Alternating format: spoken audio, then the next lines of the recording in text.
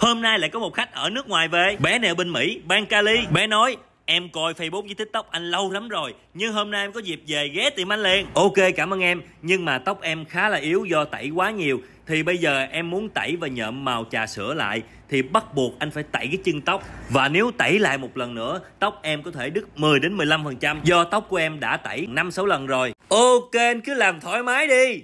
Bây giờ Hùng sẽ pha tẩy sót với oxy 7,5% dùng oxy của sót luôn và tiến hành tẩy phần chân tóc đen trước. Và khi bôi, phải bôi thật là nhanh tay. Hiện tại thì ở salon hùng, các thợ chính của hùng đều tẩy nói chân được hết nha cả nhà ơi. Khi không có hùng ở tiệm thì thợ hùng vẫn làm tốt công việc này. Sau khi bôi một lớp mỏng đều hết, bây giờ sẽ đắp no lại và đè giấy bạc lên. Sau khi tẩy tóc tóc rất yếu và dễ gãy, thậm chí có thể dẫn đến rụng tóc. Vậy làm cách nào để chăm sóc tóc sau khi tẩy thật tốt, giúp tóc hỗ trợ phục hồi nhanh? Tẩy tóc là công đoạn bắt buộc có thể lên được những màu tóc rực rỡ đầy ấn tượng. Việc tẩy tóc nhiều lần chắc chắn sẽ làm tóc ngày một yếu đi, không chỉ trơ rối, gãy rụng mà còn khiến da đầu sót, bong tróc Vậy làm cách nào để tóc vừa đẹp với những ờ, màu nhộm nổi bật nhưng không bị hư tổn sau khi tẩy? Những cô nàng đang băn khoăn không biết chăm sóc tóc tẩy nhộm như thế nào? Hãy tham khảo cách sau đây nhé. Một, hạn chế gội đầu. Điều đầu tiên bạn cần ghi nhớ đó là phải gội đầu đúng cách và hạn chế số lần gội trong tuần vì lúc tóc này rất dễ gãy và hư tổn.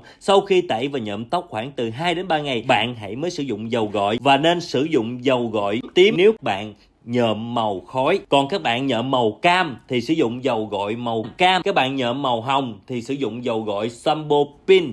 Dưỡng ẩm và dưỡng ẩm. Theo các chuyên gia nghiên cứu, quá trình tẩy tóc và nhợm mất khả năng đàn hồi của tóc lên đến 60% bạn nên sử dụng các loại dầu dưỡng tóc như Intasil chứa các axit béo, khả năng dưỡng ẩm tóc, bảo vệ tóc khỏi những tổn hại hoặc đơn giản hơn là chuẩn bị những mặt nạ tóc để ở nhà sử dụng. Đây là collagen Intasil X5 gội đầu xong, mình cứ để tóc ướt nặng ra cho hùng 5 gram bôi bên trái 5 gram bôi bên phải, massage 3 đến 5 phút, rồi chùm cái bao lại, ủ lạnh 20 đến 40 phút. Nếu mà ủ nóng, thì 10 đến 20 phút rồi xả sạch lại bằng nước. Lưu ý, collagen này không bôi lên da đầu nha. Một tuần ủ 2 đến 3 lần. 3 tỉa tóc thường xuyên. 4 là hạn chế sấy tóc. Tóc sau khi tẩy sẽ không tránh khỏi tình trạng yếu ớt và cần được chăm sóc kỹ lưỡng đặc biệt là khi dùng nhiệt lên để tạo kiểu. Cách chăm sóc tốt nhất là hạn chế dùng nhiệt. Bạn nên cuộn tóc và đội nón rộng để bảo vệ tóc khi ra nắng. Nếu cần tạo kiểu tóc để đi tiệc cùng bạn bè, bạn nên đến trực tiếp cửa hàng làm tóc để giúp bạn. Đây là điểm cân nhất với những tín đồ mê làm điệu nhưng lại không biết cách hoặc không biết thời gian chăm sóc tóc. Thì uh, khi các bạn á trước khi tạo kiểu tóc mình phải